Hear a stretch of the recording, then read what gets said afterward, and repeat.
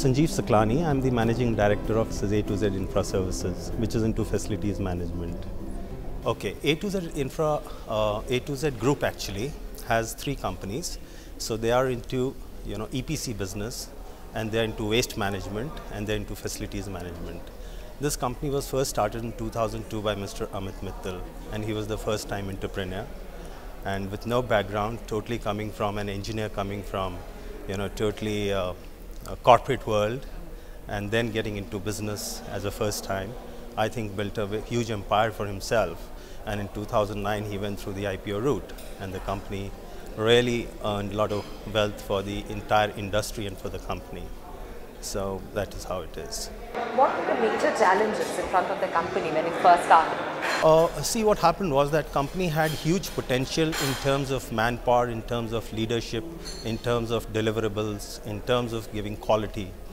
And we took up a lot of government projects. Unfortunately, the various policies in the government, whether it is the center or the state, did not support the speed of growth that A to Z was going through.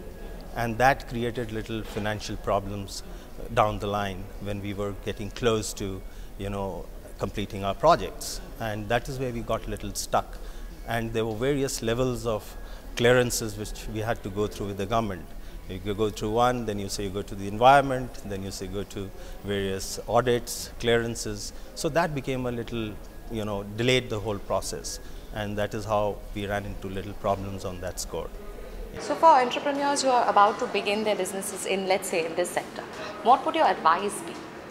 Uh, my, my advice to them would be that uh, we must get into uh, projects uh, where we have these clearances in place. We must speak to the concerned people, try to anticipate the various problems and challenges that you're likely to face, and go to the requisite departments, ministries at appropriate level and say, well, sir, I'm investing my time, my knowledge, my competence, finance, everything.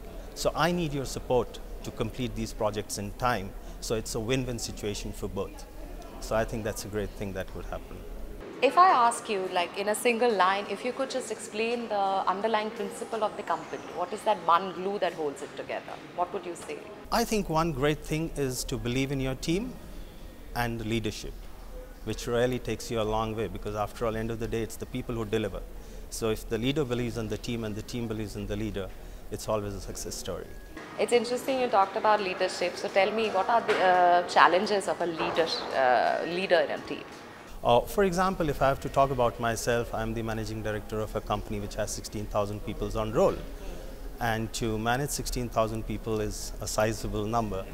And uh, being a pan-India company where we have presence all over the country, uh, we have very strong leadership at all levels, right up to, you know, the grassroots level.